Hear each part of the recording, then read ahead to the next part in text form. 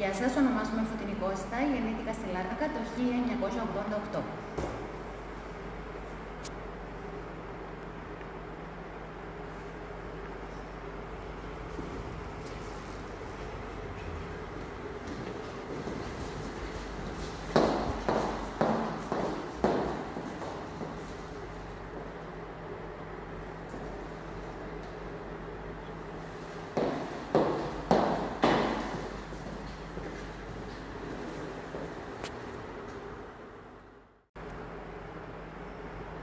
Γεια σας, ονομάζομαι Φωτεινή Κώστα, γεννήθηκα στη Λάρνακα το 1988.